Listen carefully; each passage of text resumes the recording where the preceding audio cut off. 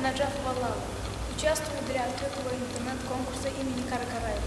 Исполняю следующие произведения. Сергей Прокофьев Тарантелла, Тофик Кулиев Прелюдия, Каракараев Забытый вальс.